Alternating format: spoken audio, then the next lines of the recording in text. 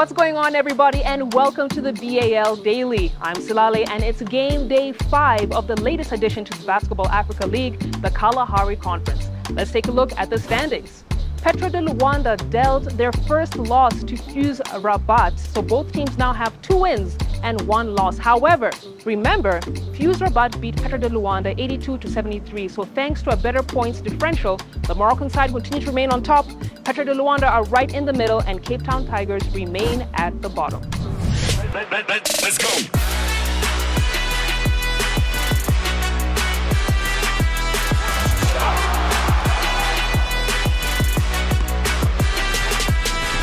The BAL slogan is Inspire, Empower, Elevate. The BAL Elevate program provides an opportunity for top African prospects from the NBA Academy Africa to join a BAL team and showcase their talents on the global stage. Now, there are five additional players from the BAL Elevate program in the NBA Academy Africa in town playing a series of friendlies, including Khaman Maluach and Ulrich Chomche. But I got a chance to hang out with some of the players from the Kalahari Conference right here.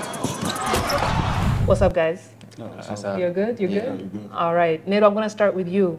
Um, now, the last game you had four points, two assists in less than four minutes, which is extremely, extremely impressive. How did you feel after the game? I saw Gakou running to you, I saw your teammates cheering you on.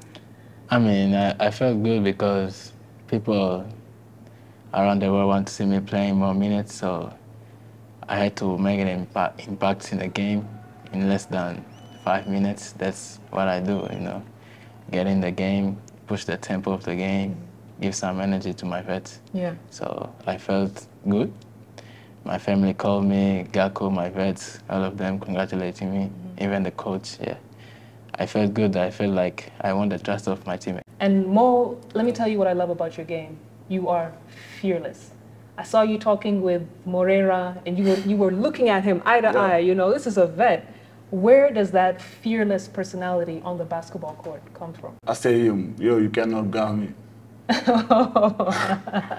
Guys, keep shining. I love what you do. Thank you. I love what you do. The first ever BAL Media Workshop was held here at SunBet Arena, where members of the media could connect and engage with experienced media personalities like senior NBA writer and journalist Marc J. Spears. Here's how that went down.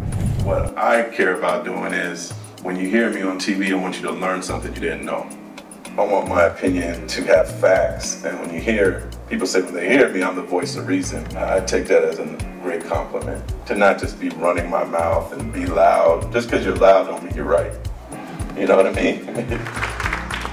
It was good to associate with colleagues around Africa and talk about the issues they are tackling. So was a great experience for me, and personally, I can't wait to, uh, to experience more of this. Day of games entertainment, but first, have you got your merch yet? There are three stores on the premises one at the main entrance, one inside the arena, and one right here in the fan zone. Let's get some stuff. Hello. Hi, hi, hi. Hey, how are you doing? Good, thanks, and yourself? I'm doing really well. Good, are you good. here to get some stuff? Yeah, yeah, yeah. Just checking out some merchandise. Yeah, what size Uh, are you? I'm at large. This might. This Yeah, that looks very nice. I like the writing at the Yeah, back the as well. writing, Yeah, you can see the back. Nice, Yeah. nice. All right, listen. Yeah. Take everything. Just pack it all up.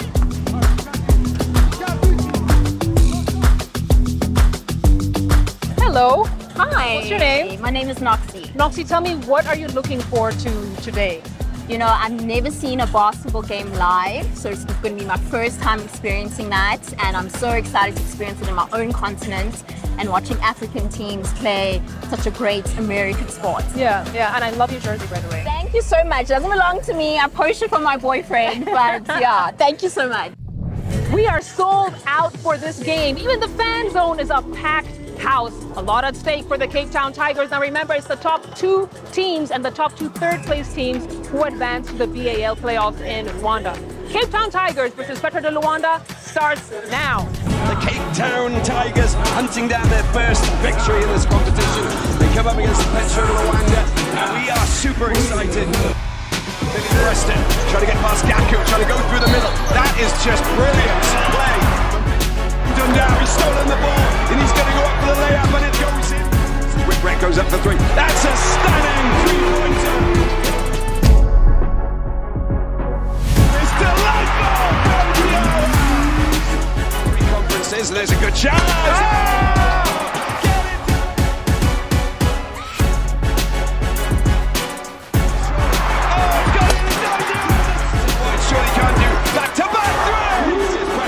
Preston for three.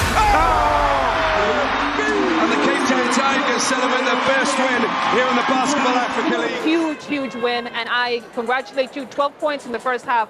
I think you kind of set the tone for this game. How do you feel about everything? We had the heart today. We had nothing to lose. We was already down a lot, and um, we, we, we owe this crowd a, a, a W. We owe ourselves a W, and um, Billy played tremendously.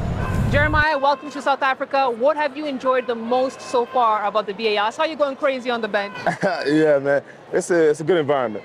Vibrant environment, especially at a time like this when Africa is truly on the rise. We have the BAL coming through, hosting such a, a magnificent event. I know it's been going for uh, some years now, but it's good to you know see it in South Africa and uh, even just in the environment, it's, very vibrant and it's exciting to see.